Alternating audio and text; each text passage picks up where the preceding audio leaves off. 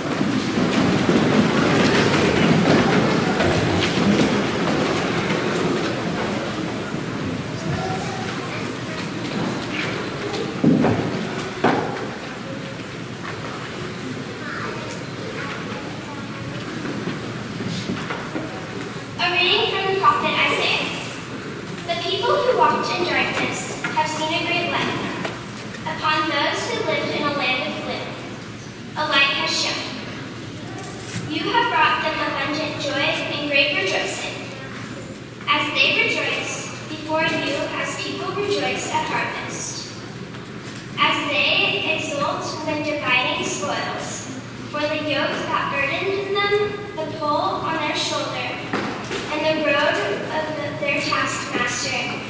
You have smashed as on the day of Midian, for every boot that trampled in battle, every cloak rolled in blood, will be burned as fuel for fire. For a child is born to us, a son is given to us. Upon his shoulder, dominion rests. They named him Wonder Counselor, God Hero, Father forever. Prince of Peace. His dominion is vast and forever peaceful.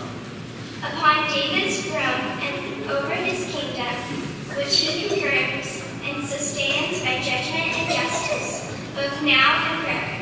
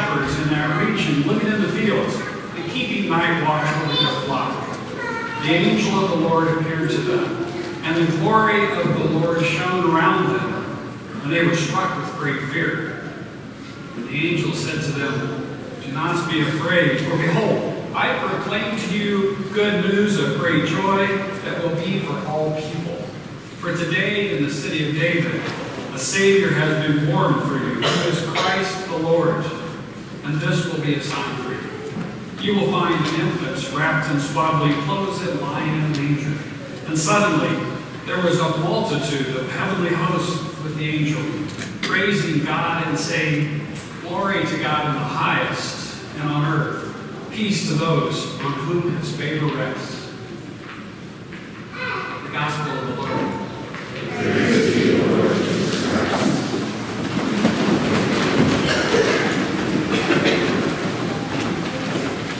At times through history, we've been visited by angels and by Mary and by God Himself. During these times, people have been able to in great detail what they saw, what they felt, what they heard, and what they smelled.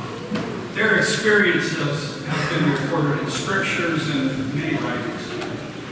I've heard these visitations described as thin places. It's when the barrier between heaven and us is very thin, and we can see the breakthrough. One of those thin places happens at every Mass when the priest calls down the Holy Spirit and then consecrates the body and blood of our, of our Savior when it becomes the body and blood. Can you imagine the excitement of the angels when they knew that the birth of baby Jesus happened? I can imagine that they were jumping all over heaven. I can imagine that they were just bursting at the seams because they wanted to tell everyone on the earth that the Savior has come, the Savior that has taken away their sins. However, I kind of also wonder if God didn't say, slow down a little bit, we've got to let him grow up and he's got to do his ministry. But finally, like a good parent, he kind of breaks down a little bit. He's okay, you can go tell the shepherds that are up above Bethlehem, but nobody else. And off they went, singing and shouting and praising. The shepherds were scared to death, as we just heard, as the angels first appeared. The night sky lit up, and suddenly there were trumpet blasts and singing. Glory to God in the highest, peace to people of goodwill. Can you imagine? And then, just as suddenly, the night sky went dark. But now the shepherds had caught the enthusiasm of the, of the angels. And they ran down the hill to Bethlehem find this baby lying in the manger. They went to look for that child that was spoken of by so many of the prophets. And they found him. They found the one who came to save them. This is what we celebrate on Christmas. We celebrate with song and dance and gifts. And we celebrate with the enthusiasm of the shepherds. We celebrate with the enthusiasm of those angels. The child is born. The Savior has come to us. And the earth is forever changed. The shepherds experienced one of the greatest thin places of history. Think about Mary and Joseph. They'd spent their entire life living in the thin place because Jesus was with them every moment of their lives. He was with them until the moment when he died on that cross to remove our sins from us. Imagine the grace. that Here we are today to feel the love and enthusiasm that Mary and Joseph and the shepherds felt that night. Here we are to feel the love of God that poured out on them and continues to pour out on us. We're here to feel the joy of the angels, the joy that exploded on the earth that night when they were set free, when we were set free from our sins by this tiny baby, the baby that saved humanity. You know, we can experience that thin place almost any time we want. All we must do is just come to Mass. Pay attention when Father calls down the Holy Spirit on the, bed, on the, bread and the wine, and when He consecrates the body and blood for us. That is a thin place. That is an opportunity for us to feel what the angels were shouting about, what the shepherds felt, what Mary must have felt. Allow this joy to overcome. Feel the joy of the angels and the shepherds and Mary and Joseph. And like Mary, reflect on these things in your heart. And like the shepherds, go forth,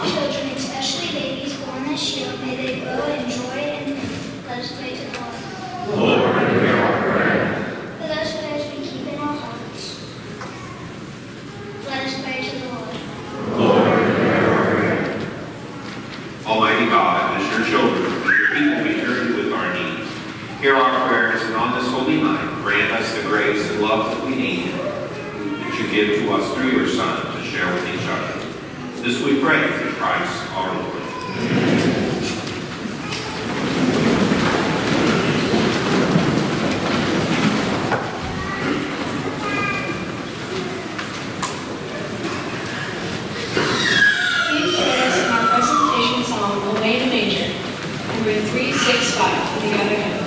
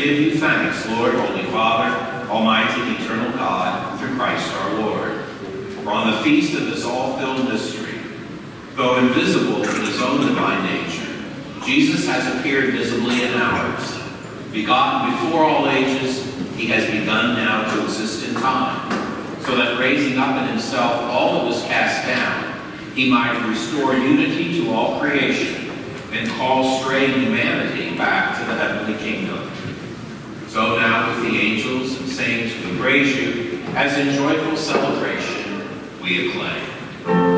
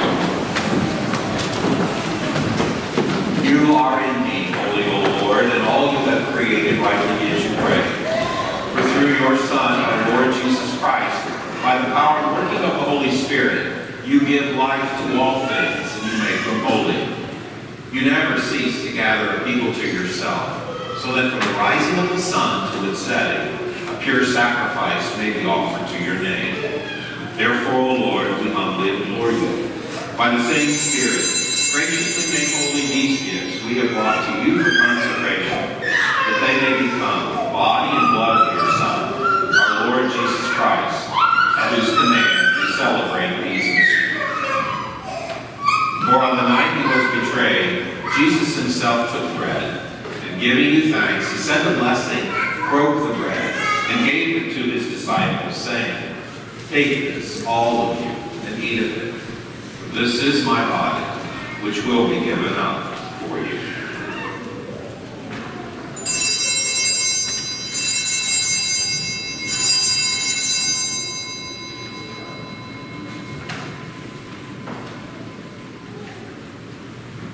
In a similar way, when supper was ended, he took the chalice, giving you thanks, he said the blessing, and gave the cup to his disciples, saying, Take this, all of you, and drink from it. For this is the chalice of my blood, the blood of the new and eternal covenant, which will be poured out for you and for many for the forgiveness of sins. Do this in memory of me.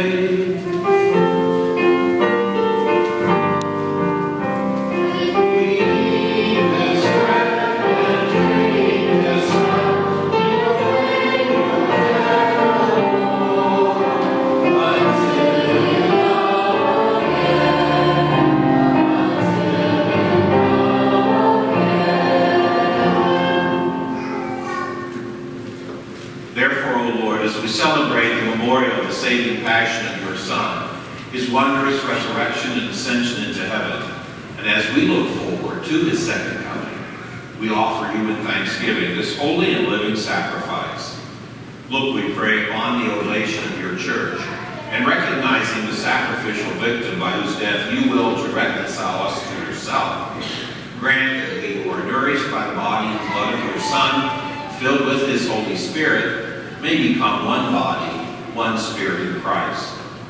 May he make of us an eternal offering to you, so that we may obtain an inheritance with your elect, especially with the most blessed Virgin Mary, Mother of God, the blessed Joseph, her spouse, the blessed apostles and glorious martyrs, St. Therese, St. Ambrose, and all the saints, on whose constant intercession in your presence we rely for unfailing help. May this sacrifice of our reconciliation, we pray, O Lord, advance the peace and salvation of all the world. Be pleased to confirm in faith and charity your pilgrim church on earth with your servant Francis, our Pope, Charles, our Bishop, the order of bishops, the clergy, and the entire people you have gained for your own. Listen graciously to the prayers of this family whom you have summoned before you. In your compassion, O merciful Father, gather to yourself all your children scattered throughout the world. To our departed brothers and sisters, to all who were pleasing to you at their passing from this life, give kind admittance to your kingdom. There we hope to enjoy forever the fullness of your glory.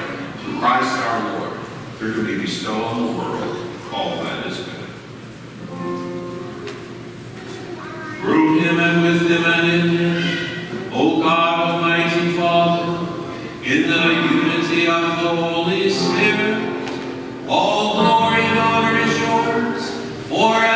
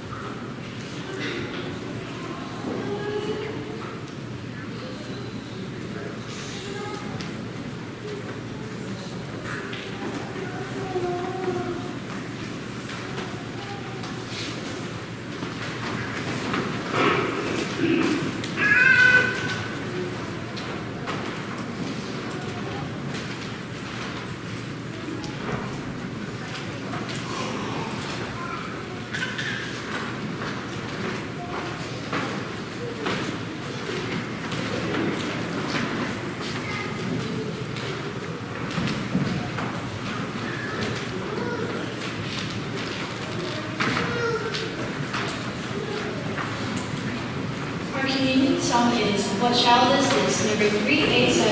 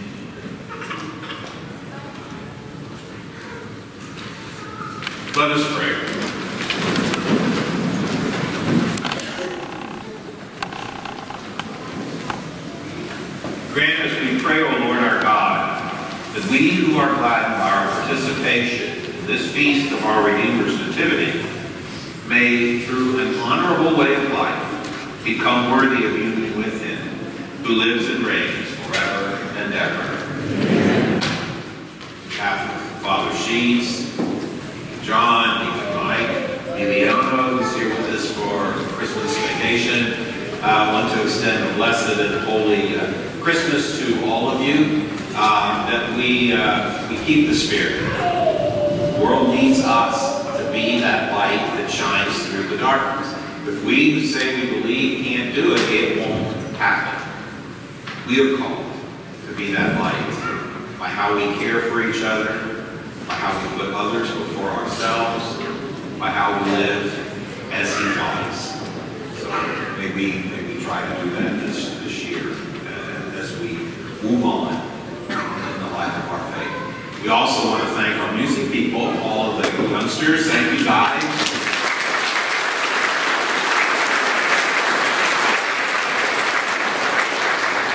Good way to start the Christmas season. Remember that we're just starting the Christmas season. I don't want you taking down the trees tomorrow, okay? Because we're just start the Christmas season. But uh, let's keep the spirit, the spirit of God's love for us uh, that was born into our world to, to save us. Let's keep that going with each other. The Lord be with you. May Almighty God bless you, the Father, the Son, and the Holy Spirit. Our Mass is ended. Go in peace, glorifying the Lord with your lives. Thanks be to God. Thank you.